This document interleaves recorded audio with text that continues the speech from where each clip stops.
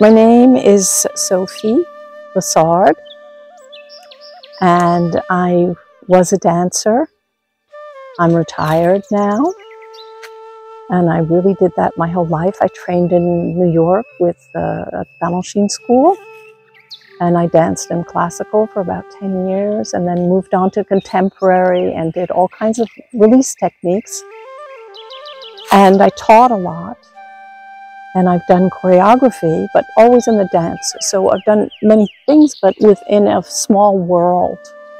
And um, throughout all these years of intense uh, physical activity, I have um, had a lot of problems with uh, arthritis and rheumatism, with limitation in my mobility, in my shoulders, in my hips mostly, and my back, my lower back has been chronically bad from whacking my leg up and turning out.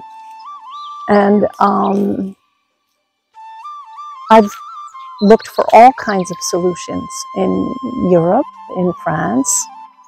I've seen um, doctors. So, I mean, what the Western medicine proposes to someone like me is either, you know, some kind of cream to put on when your muscles are hurting or your joints, or an operation to replace a joint. And I really um, do not want to be operated and I don't want to fiddle with my body that way if, if I can help it. So I'm willing to try other things.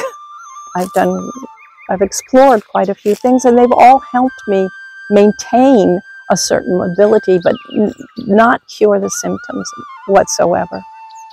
So um, I have some friends who have been coming to this hospital at Saranya for the last seven years and who are very enthusiastic about the treatment.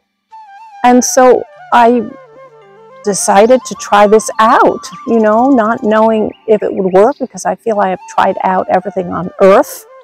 And so why not try one more thing? And uh, so I got here in the beginning of January and was met practically immediately by the, the medical team and Dr. Vino. And they asked me my medical history. So I gave them my medical history, which is this arthritis, but also osteoporosis, which is really pretty bad in my case. And I had hepatitis A, so my liver is not good. I had it a long time ago, 30 years ago, but I did a plant treatment, which my liver hasn't been good ever since. And, and the medical team was very caring and patient and wonderful and um, accompanied me through that period with um, just a lot of generosity, listening, and also um, reacting very fast. So I felt uh, this trust that was building, you know, I came rather distrustful and then gradually I came to a place of a lot more trust. And um, as time went on, I changed treatment. I got the main treatment and I started feeling a lot of improvement in my lower back. Completely disappeared the pain um, my shoulders are better. They're not completely better. My liver feels fine. I'm having an incredible diet here, so there's no way that it couldn't. But I, I, um, I feel, I feel that everything is being addressed, and my nails are stronger. I have less hair less loss, so I know that my that is a good sign as far as my bones are concerned. And I, um, I'm very encouraged about um, how this works. And I've slowly understood also that, the, that my idea was very narrow.